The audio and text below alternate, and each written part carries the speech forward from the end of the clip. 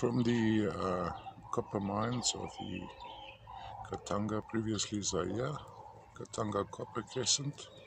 Now I suspect um, it's either copper or cuprite as a matrix, little malachite sitting on there with perhaps a bit of mamatite. This could very well be the new from the new find of late 2018 at Brazzaville deposits. Um, this may just be a crust of copper with the, but I'd go more with cuprite with the malachite sitting on top of it on the side. Lovely showy piece. Just zoom in there. Of course it is a little bit overexposed now, as you can see. The camera struggles with the, uh, the darker pieces. Ah, this is a better look. It's a dark, dark green, not black. It appears black on first looks.